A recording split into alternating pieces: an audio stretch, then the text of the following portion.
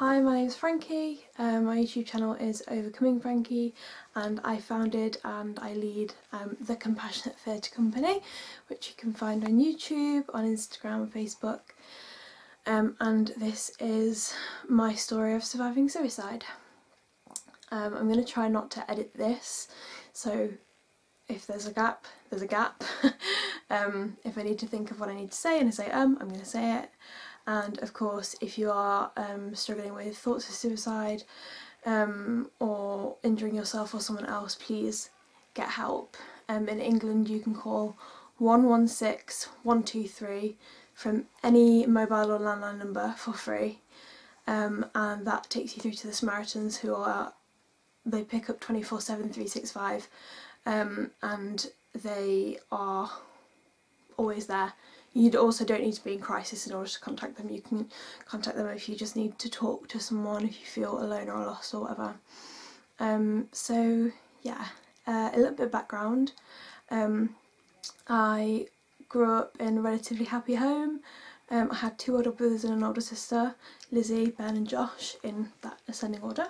Um, and my brother Josh was born with a life-limiting condition called muscular dystrophy. That was very hard for us as a family to deal with. He was sick a lot. Um, his health balanced on the, what do they say, on the head of a pin. Um, it was very, his health was fragile. Um, and from the age of 11 onwards, every day was a blessing. We didn't know what was going to happen next. Um, but we did know he was life limited. Um, coming away from that, um, a year after he died, I was diagnosed with bipolar disorder. Um, I had had previous suicidal thoughts. Um, I made started to make an attempt and then aborted um, in 2015, which is the year that Josh died. Um, and yeah, other than that, my mental health has sort of been up and down as it is with bipolar. Um, and I was affected very heavily by my brother's death. And then when I was diagnosed with bipolar, I was inpatient for three months and I became very good friends with um, another lady in the hospital called Anna. Um, and our rooms were next to each other and we, you know, you live day to day, door to door, join at the hip to these people um, who you're who you're in hospital with. Um, and two weeks after I was discharged, she committed suicide um, on the ward. Um, and that was extremely traumatic for me um, to have lost Josh and then to have lost Anna. Um, and both of their deaths impacted me in very different ways and um, there were various other things that have happened to me that have built up to what's called complex post-traumatic stress disorder or CPTSD and it's where it's either a prolonged um, trauma, so a period of abuse maybe, um, or when there have been multiple traumas and everything adds up. So rather than just the one event, which you sort of would call PTSD, so someone having a tour in Iraq or if someone you know, was violently assaulted um, versus having multiple traumas, which is what happened to me. Um, it builds up to complex post-traumatic stress disorder, CPTSD, multiple events. Um, and I was not diagnosed with that for another um, couple of years. Um, in 2019, in January, a very close friend of mine died very suddenly. Um, and she lived in America and it was me and a group of friends online um, who we we would just we message constantly um, and because they were all in America there were a couple in Australia like there was always someone awake um, and literally this friend she's called Em uh, and she um, she was ill. We were, were all chronically ill in that group, um, but she wasn't necessarily critically ill. Um, I do know her cause of death, but I'm not going to share it on here um, because that's not the story I'm telling. Um, but I found out at three in the morning um, because someone else had posted it straight onto Instagram um, and I screamed. The sound that I made when I found out Anna had died, yeah, it's a noise that I couldn't make if I tried. Um, but it's just sort of like this raw emotion. Um, and it was three in the morning, and none of my housemates were awake, so I went upstairs and I hammered on Jack's door um, and he let me in and I, I, was so hysterical that I couldn't even tell him what happened. Um, and I managed to get it out and he said are any of your other friends awake? And I said yeah I think so. So I messaged some of them I had a very brief video call with one of the ladies in Australia um, and then that was that I um, I got back into bed and just pulled the covers over my head and started sobbing and that didn't stop and I had um, uni the next day. Um, well, I thought I did. So I went in for 10 o'clock, sobbed the whole way on the bus, got into school, cried more and they weren't there, my group wasn't there. Um, and I, I looked on my phone and they had sent a message saying let's not do today, let's do tomorrow. So I dragged myself in feeling awful um, and then I didn't even need to be in. So I went back to my flat, uh, to my house, and um, it was just so painful, and I just wanted the pain to stop. And I just thought to myself, I can't do this again. I can't lose another person. I need to be next. Um, and it didn't start out as a suicide attempt. I just, I wanted to sleep. I wanted to not feel the pain anymore. Um, so I started taking tablets I took everything that I had that would make me sleep. So I took some of the meds I take at night. Um, I took some strong painkillers. Um, I took, I didn't have any sleeping tablets, but I had tablets that make you sleepy. I sort of just took all.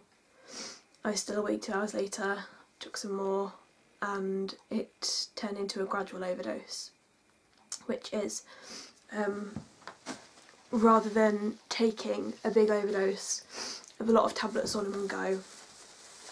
Me take them gradually.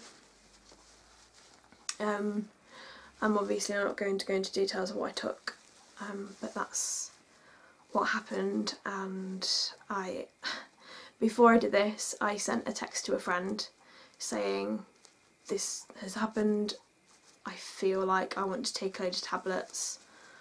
I probably won't, but I just needed to tell someone and she never replied to that message. Um, and when I asked her about it a few months later, she said, oh, I don't think I even saw it.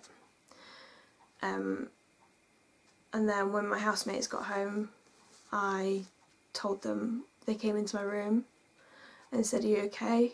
And I said, no, I've taken too much of X tablet. And they were like, oh, okay. And they just sort of sat with me and didn't do anything and they were like, come and get some dinner with us. And I said, no, I feel too dizzy when I stand up. And they were like, oh, okay then. And they left. Um, anyway, the next day I decided I would go home to my parents for a few days to sort of spend time with them, grieve. Um, also with the tablets that I had been taking and continue to be taking, I thought it started to turn into a suicide attempt and so I wrote a letter. Um, it was coming up to Jack's birthday uh, so I left his birthday present with my note. Um, I wrote a page each to my family um, and a small message to two of my friends and left them on my bed, tidied my room locked my door and then went and caught the train back to Nottingham to my family home where I didn't tell my parents. Um, and I sort of knew what would happen with an overdose and so I went to a friend's house because I didn't want my parents to have to find me and I talked to this friend for a couple of hours I told him that I'd taken too much of something and after a few hours he was like, so what's happening? And I told him and he was like, oh shit, so we called an ambulance. Um, and I went to hospital and I got treatment um, and yeah, the the doctor said it would have been easier to treat if I'd just taken them all at once and come in, but because I'd taken them over a period of time, it was sort of building up the damage to my liver. And they gave a course of anti-poison, which took 23 hours, I think. Um, and I talked to one of our mutual friends, one of my and mutual friends in that group. I talked to her and she gave me her number, but I, I didn't have much charge on my phone. Um, and anyway, about three in the morning, I finally called my parents, and that was the turning point from um, wanting to die to wanting to live. Um, I've never heard my mum that upset before, um, other than the day that my brother died. I heard her howl in the background. Um, and they came, they both came and sat with me in A&E. I was like sort of in and out of um, sleep, I guess. And they sat with me for a few hours and then they had to go home and sleep. They were really tired. I was moved onto hospital ward and oh my goodness, I felt so awful physically and I, um, my mum said to me in A&E, she said, you have to live. She said, think of all the dogs you've not pet yet. Um, think of all the dogs you've not pet yet. Think of all the friends you've not met yet. Things things you've not written yet. Um, and that was having my parents say, you know, how scared they were.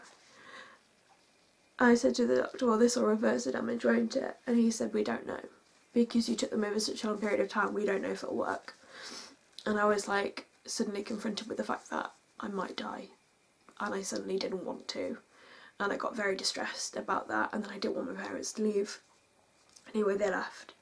And I, it was about the time that it would be for my housemates to get up. Um, so I phoned them. I said, when you're all up, can you get into the room together? Um, I've got something to tell you. And I told them, and they were just dead silent. Um, I could hear two of them crying. Um, and that that was the other thing that turned me round from wanting to die to wanting to live was hearing their reactions and realising how loved I was by my parents and by them. Um, and anyway, I had an experience in the chapel. I asked my dad when I'd been, basically the treatment ran three different um, IV infusions. Over the course of the first one was an hour, the next one was like three hours, and then the next one was like 20 hours. So it was 24 hours. I asked my dad when I was unhooked between two bags if he would take me to the chapel in the church. And we went and we prayed, and I was listening. I looked through some chat conversations with them that I had with them um, and listened to some of her voice messages that she sent me. And then I put um, a song on, a praise or worship song. Um, and I sat, sat there and I prayed in the chapel because I was scared that I might die. And I suddenly didn't want to because I didn't want to leave these people who were so upset hearing what had happened. I don't know how how they would react if I actually did die. And I was very scared. And I heard very clearly Em say um, come on girly, not yet. Right as I was thinking, am I gonna die? Come on girly, not yet. And she's never said those words to me. That's the kind of thing that she'd say. And I looked on my phone to see if I played a message. No, it was still on YouTube playing the song. And I looked up and I saw a window in the chapel and her face was pressed against the window. Me and her had both lost a sibling. She lost her older sister Haley to the same disease that she had, and um, she was there. We talked about death and how we viewed death and what we thought the afterlife looked like, and we said we think when the person, when we really, really need that person, they can push their face up against the one-way glass and we can see them. And there she was at a window, pushing her face up against the glass and I knew that she was with Haley and holding hands. And then I saw Haley, um, that's her sister, and they walked away smiling together. And then I saw Josh, and I had never had any dreams of him. I'd never heard him talk to me. I had never had anything like that from him before. And I thought Em brought him to me. Um because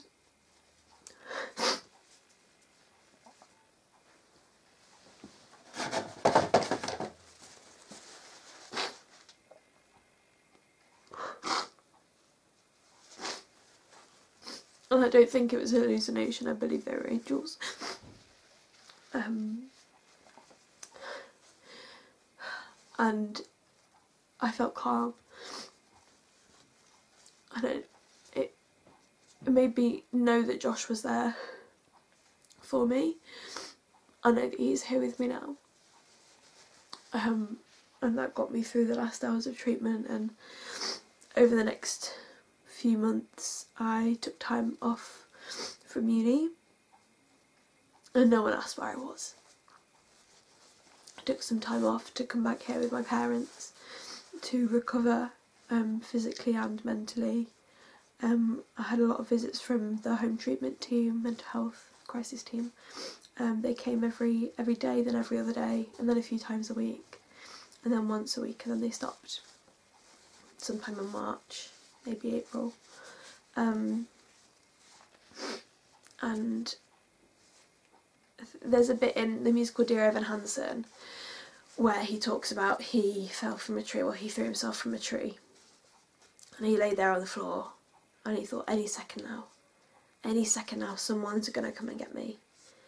And I was I was in hospital, waiting and waiting for someone to notice I wasn't at uni waiting for someone to message and ask where I was, waiting for that friend to respond to that text saying, I feel like I want to kill myself. And then I tried. And no one texted.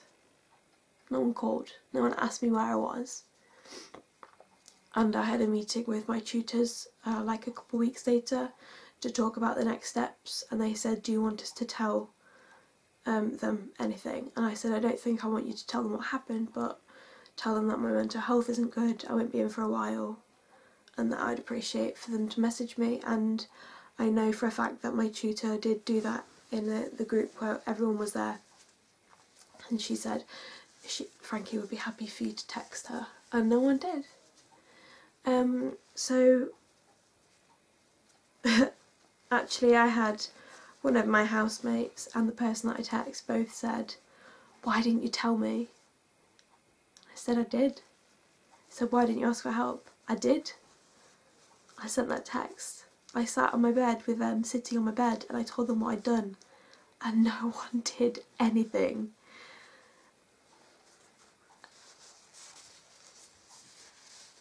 I recovered, obviously, from that attempt and when I went into, when it was my birthday,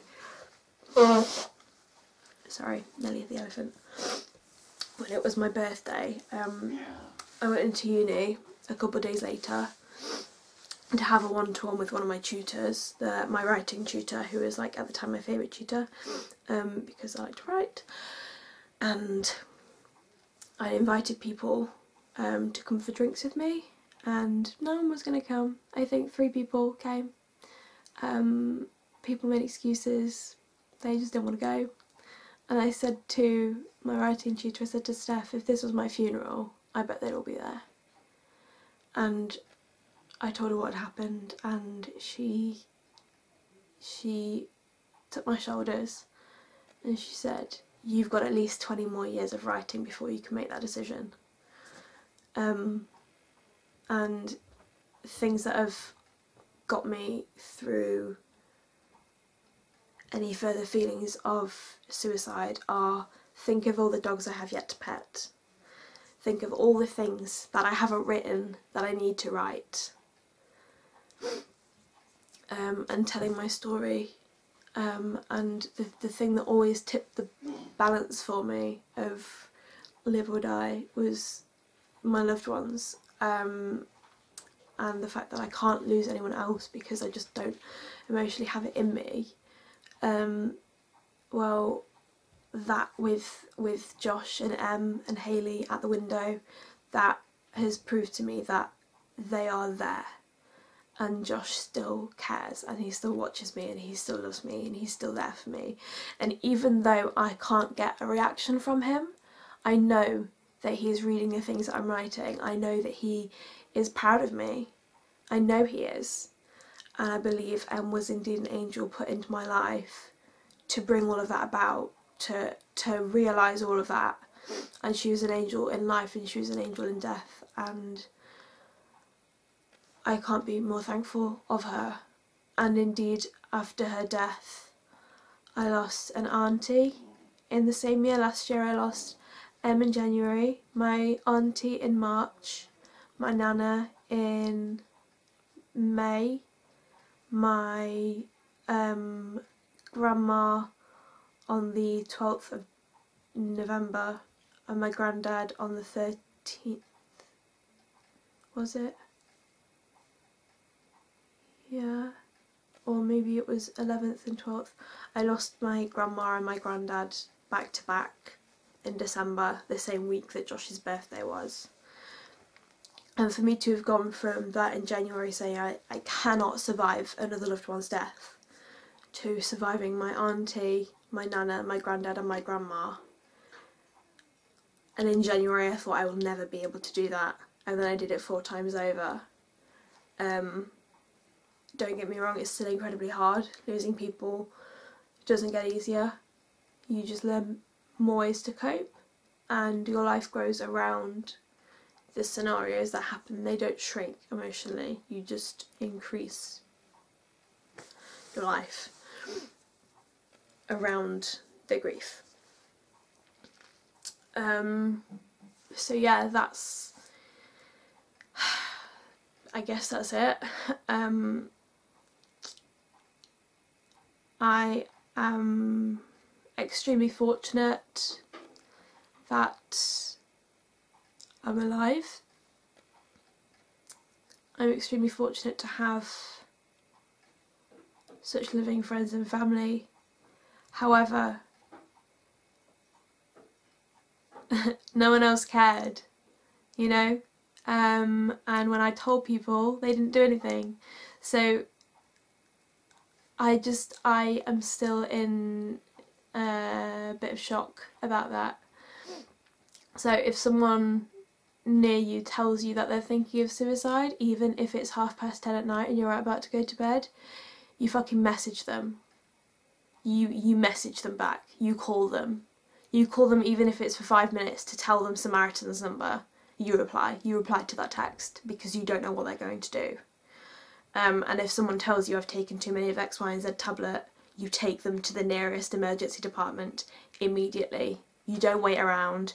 You don't go, oh, we'll see how you feel in the morning. You take them and you write down what they've taken and you take them to hospital or you're going to lose them.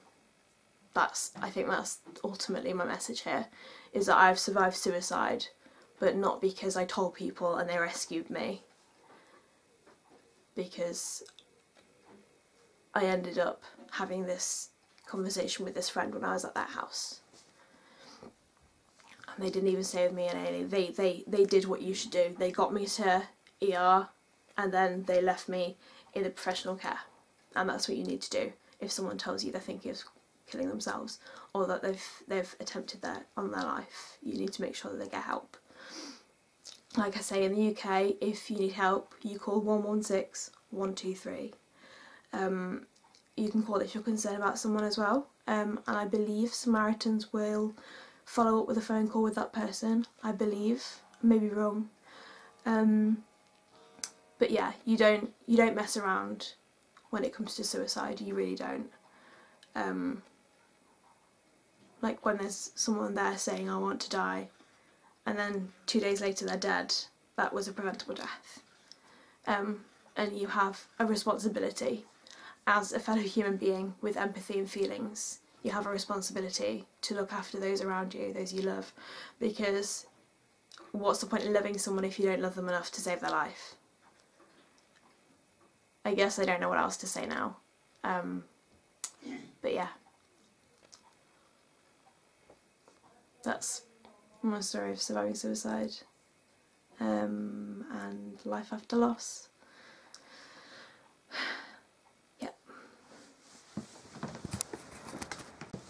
Hey, I know that I said that I wasn't going to uh, edit this, but um, I figured that I ended it in a bad place. So I'm back, it's another day, it's like a week later.